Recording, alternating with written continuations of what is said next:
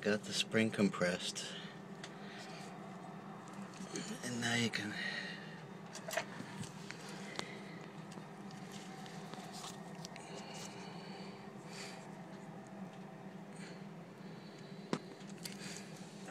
There's the keepers. One came out, both came out.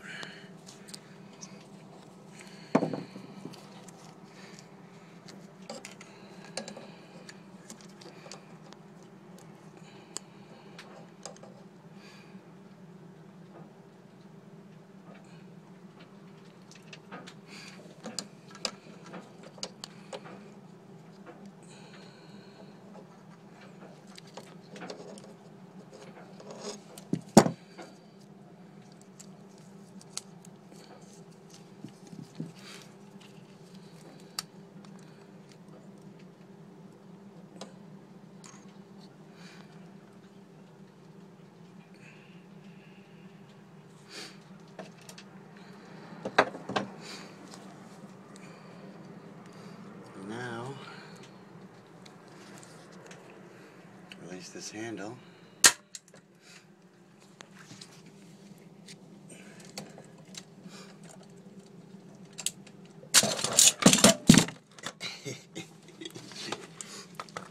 Destroy everything. And you can see now that that spring has fallen all the way down to the tappet.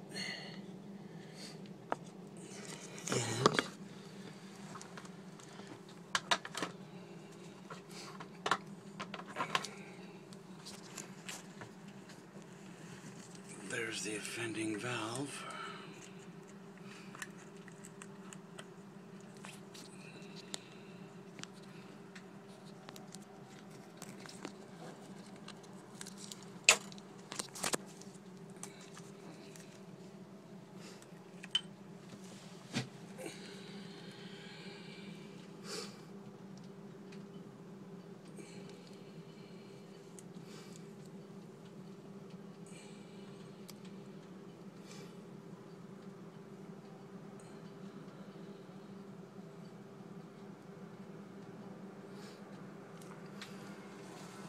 And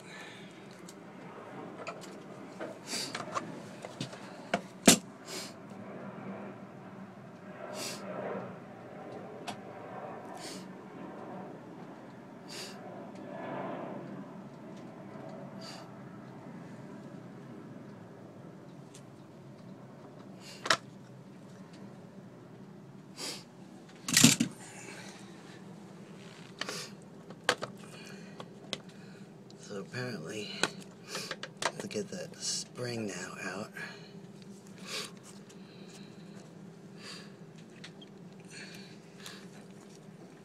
I'm supposed to use a large screwdriver to pry it out. But I think I'm going to leave it in there.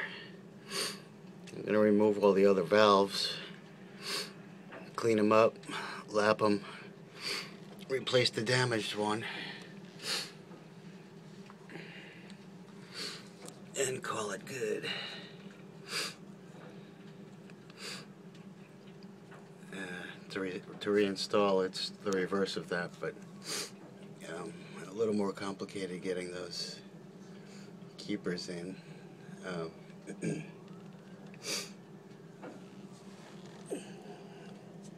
takes a little trickery.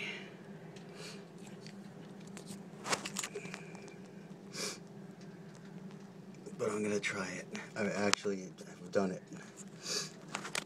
This was the second removal, um, and I put them back in just to see if I could actually do it, and I was able to do it. But you just reverse the process, stick the back keeper in, then you know uh, the other keeper in, and uh, slowly release the clamp that should seat right nicely. So there, I don't know if you can tell anything. I mean, it looks like a perfectly round hole with with carbon buildup where the valve was damaged or burned.